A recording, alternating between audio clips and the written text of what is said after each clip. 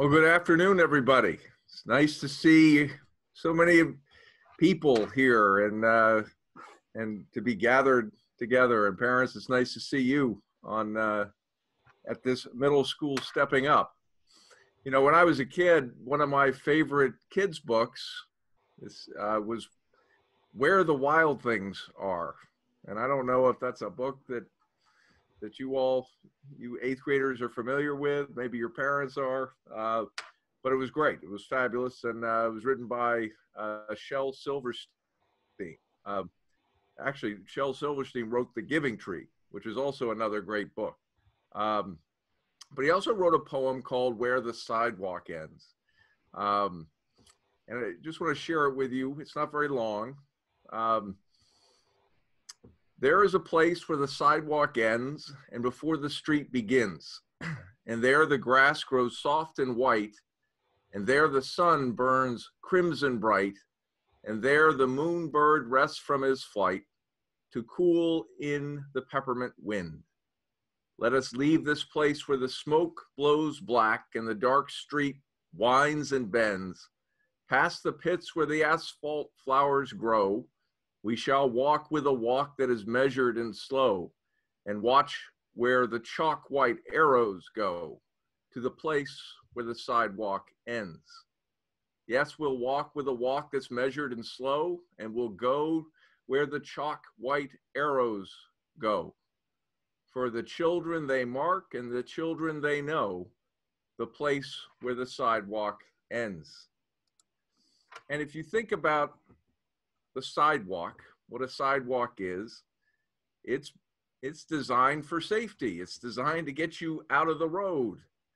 And for pedestrians, or maybe when you're on a bike, you rode your bike on the sidewalk when you were younger.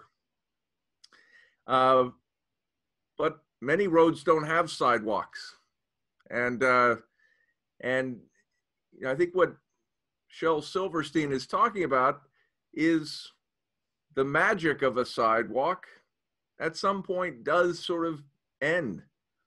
Uh, and I think if you think of a sidewalk as being your elementary school years, culminating with your middle school years, you know, that sidewalk is ending.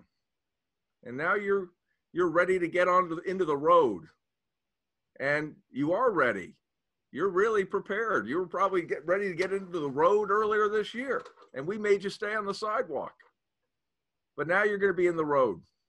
And it's it's a faster pace road. It's a it's an exciting road. It's a meaningful road. It's a road of self-discovery, of maturity. A road that is going to teach you how to make big decisions such as applying and deciding where to go to college. It's a road where your grades now are written in ink. They matter. They'll follow you from year to year. But it's an exciting road. And you're going to meet new people on this road. You'll meet a lot of new people next year on the road. You'll meet new teachers on the road next year. So I look forward to having you back to campus. Those of you who will be coming back, I look forward to welcoming you to this road. But even if you're not coming back, you know, you're ready for the road. And and I know you'll do well. So, congratulations on a great year. Congratulations on finishing the year. Uh, you're going to have a great summer, and you should. You know, have a healthy summer. Be safe, so you're even more prepared to begin your journey on the road after the sidewalk is ended. Congratulations. Thank you, Headmaster Taylor. We're going to continue our service now with the familiar, joyful, joyful, we adore thee.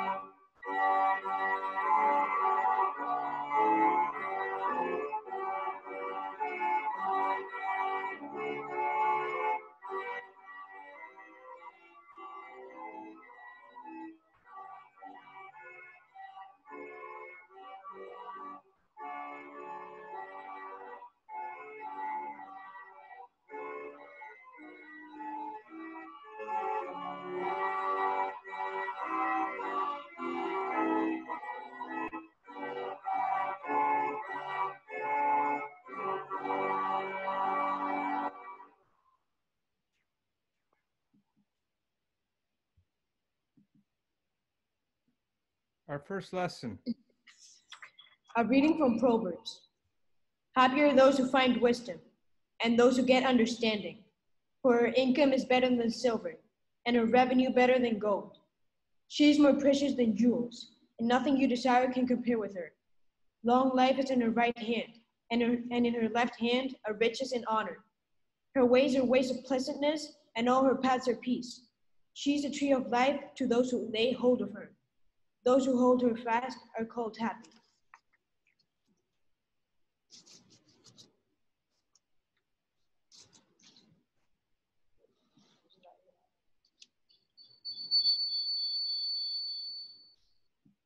Mr. Hoffman, please. Here we go. A, a reading from Romans. Let love be genuine. Hate what is evil. Hold fast to do what is good. Love one another with mutual affection. Outdo one another in showing honor. Do not lag in zeal. Be ardent in spirit. Serve the Lord. Rejoice in hope. Be patient in suffering. Persevere in prayer. Contribute to the needs of the saints. Extend hospitality to strangers. Bless those who persecute you. Bless and do not curse them. Rejoice with those who rejoice. Weep with those who weep. Live in harmony with one another. Do not be haughty, but associate with the lowly. Do not claim to be wiser than you are. Do not repay anyone evil for evil, but take thought for what is noble in the sight of all. If it is possible, so far as it depends on you, live peaceably with all. Beloved, never avenge yourselves, but leave room for the wrath of God. For it is written, Vengeance is mine, I will repay, says the Lord. No, if your enemies are hungry, feed them. If they are thirsty, give them something to drink. For by doing this, you will heap burning coals on their heads. Do not be overcome by evil, but overcome evil with good. Here ends the lesson.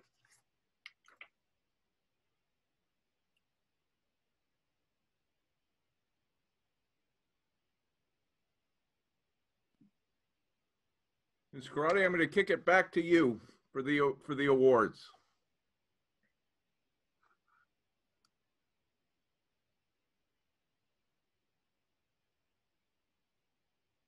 Before we go through the awards, I would just like to say, um, I'm just so proud of middle school. I, I can't even, I express it all the time, but I'm just very proud of every single one of you. Um, your commitment to your academics, attending all the community events, and just making the overall adjustments that you need to do in order to succeed and have a great term. So I just want everyone tonight to feel very proud of themselves because you all rose to the occasion. So just everybody feel good. Ready? Okay, I'll start off with um, our seventh grade math award goes to Jack Lashley.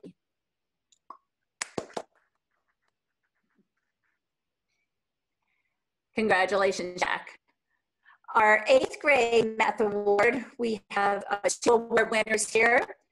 Um, we have Kweku Arthur Menza, and we have Jorge Escudero Ruiz Mateos.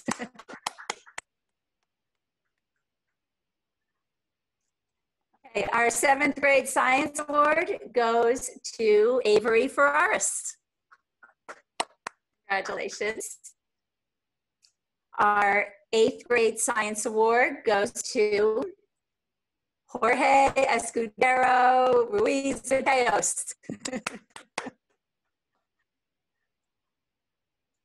okay, our seventh grade history award goes to Avery Ferraris. Congratulations. Our eighth grade history award goes to Nick Miano.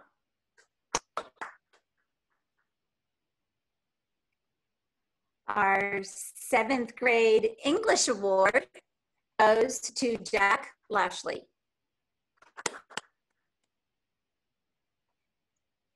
Our eighth grade English award goes to Sean Kong.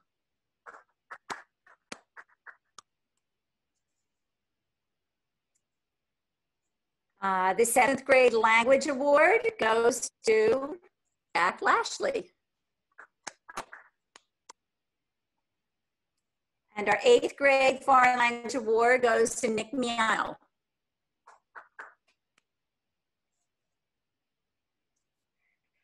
Our fine art award goes to Rowan King.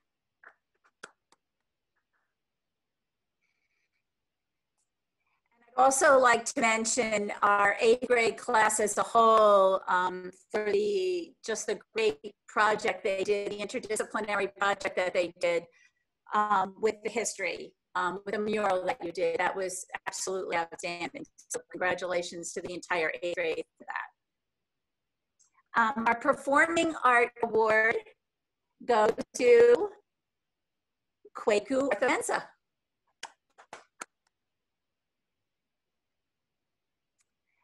And our Instrumental Music Award goes to Kwaku Arthamensa.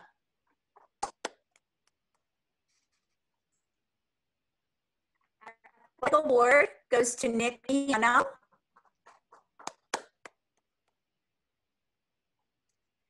And our most improved middle school student goes to Misha Charrier.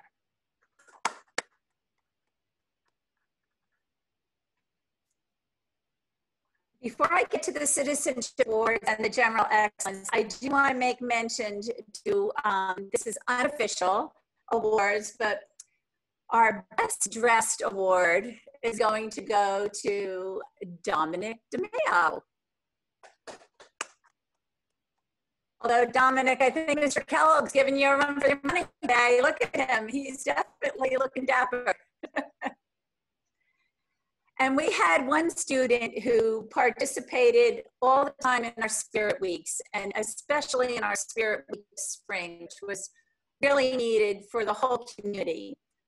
And he's just extremely creative in his outfits. And that award goes to Hunter Barron. Okay. Our seventh grade citizenship award is presented annually by the middle faculty to a young man who best exhibits the qualities of a good citizen.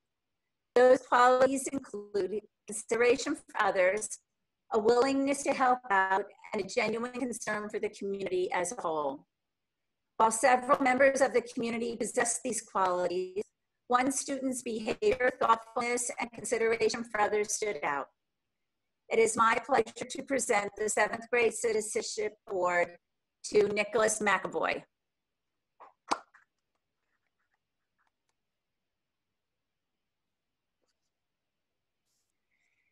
The eighth grade citizenship award is presented annually by the middle school faculty to a member of the middle school who has shown growth in character and in leadership. This year's recipient is a polite, kind, respectful, and thoughtful young man. He arrives to school prepared for the day's challenges and is there for his peers should they need guidance or helping hand. When he speaks, which is not often, his peers listen to what he has to say. He leads by example and sets the bar very high for himself. It is my pleasure to present the eighth grade citizenship award to Nicholas Miano.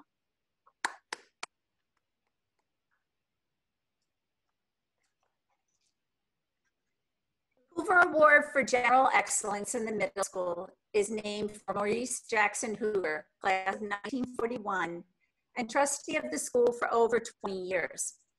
Mr. Hoover played a critical role in the opening of the middle school and was himself an eighth grade student at Trinity Pawling in 1937.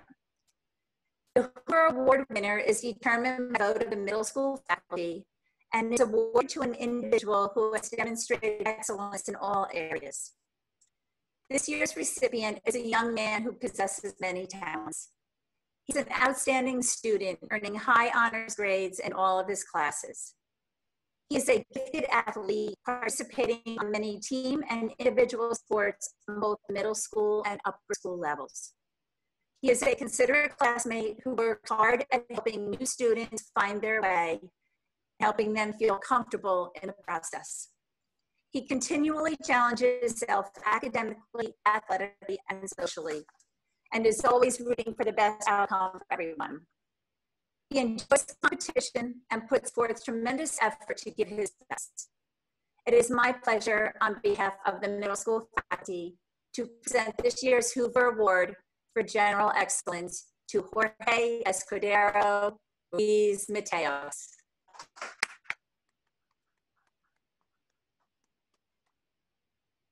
Congratulations, gentlemen.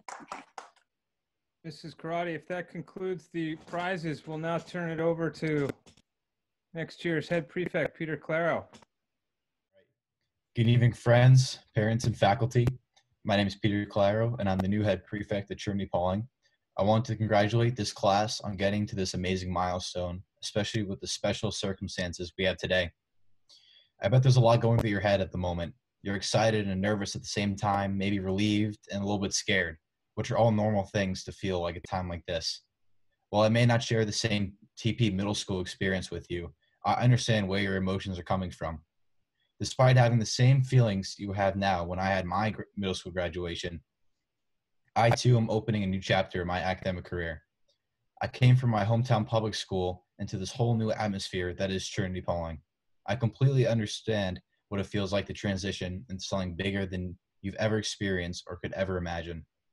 Now, in my new position, I'm going to need to take a lot of the advice I'm about to give you. In the world, there are plenty of valuable resources that people would like to have, like money, time, and in today's world, some toilet paper. However, at Trinity Pawling, there's a very special resource that, if used correctly, uh, it can, can create a, a very successful TP career for all of you. That resource is the people both the students and the teachers. More often than not, they are not only willing but eager to help you. Surround yourself with people and invest in them because you will receive much in return. Some are willing not some are willing to help even if they don't know you well, but they might ask you to try something new or go out of your comfort zone.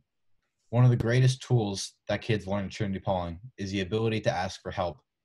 The big problem is usually that kids don't know who to ask or how to ask for help. A lot of this may come from anxiety or fear that they might not receive help by reaching out to someone. To that end, I would like to extend an open invitation for all of you. If any of you have any problem of any sort, come find me and talk to me. Like the other teachers on campus, this is part of my job. And I'm not only asking you, but I've encouraged you as well. Maybe some of you have already been involved in the upper school through classes, sports, or clubs, which is great. I'd like to encourage you even further to get involved with something besides a class or a sport. Trinity Pawling has so much to offer, and it's important to get the most out of your few years here by doing as much as you can. There are kids who graduate TP and think, man, I wish I was in that play or I wish I joined that club, and they miss the opportunity. TP gives you the chance to take advantage of as many opportunities as you want. And it's up to you to take them head on. You may not know it now, but you guys are more of a lifeboat for other students than you think. New freshmen coming in will be a lot more uncomfortable and nervous than you will, since it's a whole new life for them. There's no rule saying rising freshmen can't show other people the ropes of TP. You have the power to make someone's transition in the TP a whole lot smoother, but it requires you to step up, get out of your comfort zone, and help the newcomers with their growing pains. I'd be remiss if I didn't mention that there will be challenges that you will face in the upper school. You'll get bumps in the road, there will be struggles, and you might even question if getting a high school diploma is worth all this trouble. I can assure you that every single student has thought these thoughts. And in a way, that's the beauty of it. We are all in the same boat, going through the same struggles and bumps that life accompanies us with. If there's one thing I've learned at TP, it's that through highs and lows, the brotherhood goes through it together. I can't wait to see you guys face to face. Let's go through next year together as a family. Thank you. Thank you, Peter, and congratulations on becoming the new head prefect at Trinity Pawling and for the many gifts of leadership you'll bring not only to these students, but to the faculty as well. And congratulations to all of you for stepping up. I had the great privilege of teaching all of you this year, and uh, you've been leaders to me and brought me a lot of joy. So thank you. On that note, I ask that um, you bow your heads in prayer. Let us pray. Almighty and everlasting God, who is with us wherever we may go, bless these Trinity Pawling middle school boys on their day of stepping up and help them meet the new challenges that they will encounter as eighth graders and freshmen. May they grow each day more into your likeness and become more thoughtful, curious, and creative young men. Guide, protect, and keep them, O Lord, through these difficult days and grant them to obtain resilience in all that is just and true and good. All this we ask in your holy name. Amen. O Spirit of life, wonderful counselor, let your presence in our midst make this school a fountain of wholesome activity and true knowledge. To her trustees, grant timely wisdom. To her teachers, the gift of inspiration, and to her students, a questioning spirit. That soundness of learning, loftiness of character, and a capacity for gallant living might be furthered in this place from generation to generation through Jesus Christ our Lord. Amen. The blessing of God Almighty, Father, Son, and Holy Spirit be upon you this special day and remain with you always. Amen. Let us bless the Lord. Thanks be to God. Amen. Please enjoy the school hymn.